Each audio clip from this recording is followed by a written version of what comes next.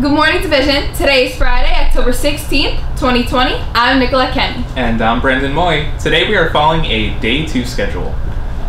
There will be a wrestling meeting after school in room 129 today for cohort A students. Attention all girls interested in playing girls lacrosse this spring. Please see Mr. Denellen in room 114 so you can be added to the team's Google site. There will be a sign up sheet outside his door.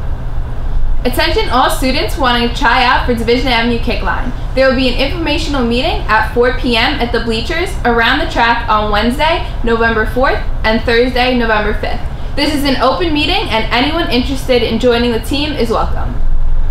There will be a student council general meeting on Wednesday, October 21st at 2:35 in room 220 or on Google Meet. Student council officer speeches and elections will take place at this time. If you have any questions, please contact Ms. Castellano or Mr. Marzigliano. Attention anyone interested in running for a student council officer position. Please locate an application in the Google Classroom and complete the application. Please email Ms. Castellano and Mr. Mars for more information. Attention all students. As of right now, only a limited number of clubs have been approved, but we still urge you to get involved. An email was sent out to all students with the information about how to get involved. Please check your school email or go to the Division Avenue student information page to find out more. Attention all students, the food drive has begun. This is a double point spirit event.